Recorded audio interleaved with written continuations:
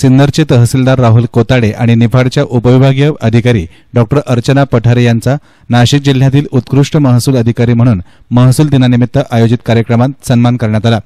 सुमारे तीन वर्षांपूर्वी सिन्नरच्या तहसीलदारपदी रुजू झालेले राहुल कोताडे यांनी आपल्या उत्कृष्ट कार्यशैलीने तालुक्यातच नव्हे तर जिल्ह्यात छाप पाडली आहे.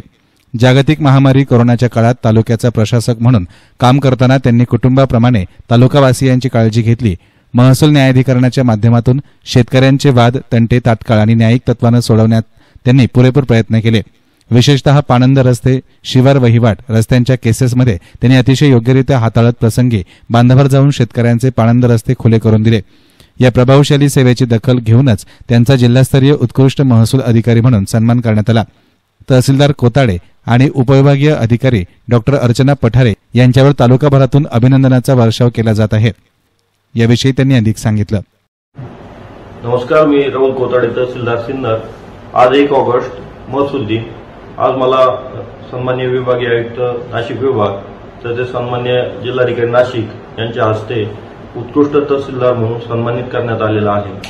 खरं तर माननीय विभागीय आयुक्त कार्यालयाने आयोजित केलेले विविध प्रशिक्षण वर्ग आणि माननीय जिल्हाधिकारी नाशिक तसेच जिल्हाधिकारी कार्यालयातील वरिष्ठ अधिकारी यांनी केलेलं वेळोवेळी मार्गदर्शन त्यामुळे महसूल प्रशासनाचा दर्जा निश्चितच सुधारलेला आहे आणि लोकहितोपयोगी किंवा लोकांशी संबंधित जी काही कामं आम्ही पार पाडतो त्याचा दर्जा निश्चितच सुधारलेला आहे.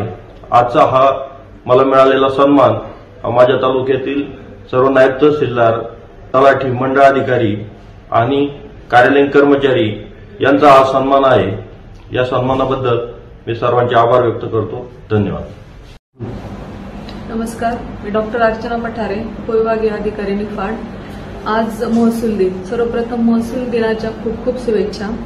आज उत्कृष्ट उपजिल्हाधिकारी म्हणून मान्य जिल्हाधिकारी सरांनी माझी निवड केली. तर हा मला वाटतंय हा माझा प्रातिनिधिक स्वरूपाचा सन्मान आहे. कारण आपण जर बघितलं तर नाशिक जिल्ह्यामध्ये सगळेच अगदी उत्कृष्ट काम करणारे अधिकारी कर्मचारी आहेत. मी या जिल्ह्यामध्ये रुजू झाले as a S D O Niphad म्हणून. त्यावेळेस सुरुवातीच्या काळामध्ये विधानसभा लोकसभा दुष्काळ पूर अशा वेगवेगळ्या परिस्थितीचा सामना करावा लागला. अशा वेळेस वरिष्ठांचे अगदी मार्गदर्शन अमूल्य मिळाले.